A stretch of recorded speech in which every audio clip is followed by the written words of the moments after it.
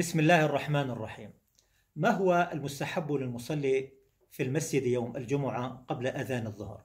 هل يستحب له قراءة القرآن أو الاستماع إلى درس الجمعة أو الذكر؟ هناك مساجد تعمل على بث إذاعة القرآن الكريم والمصلون يستمعون هناك مساجد يوزع فيها مصاحف على المصلين لقراءة القرآن ريثما يحين الأذان وهناك مساجد تخصص آه، درسا لتوعية المصلين درس الجمعة. وهناك من آه، آه، يشغل نفسه بالذكر وهناك من يشغل نفسه بالصلاة السنة القبلية. أيها الأولى ما هو المستحب؟ ما هو هدي النبي صلى الله عليه وسلم في ذلك؟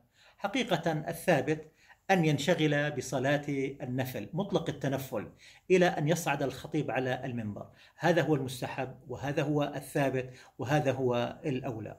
الدليل على ذلك آه، ما رواه البخاري من حديث النبي صلى الله عليه وسلم قال لا يغتسل رجل يوم الجمعة ويتطهر ما استطاع من طهر ويدهن آه، من دهنه أو آه، يمس من طيب بيته ثم يخرج فلا يفرق بين اثنين ثم يصلي ما كتب له ثم ينصت إذا تكلم الإمام إلا غفر له ما بينه وبين الجمعة الأخرى.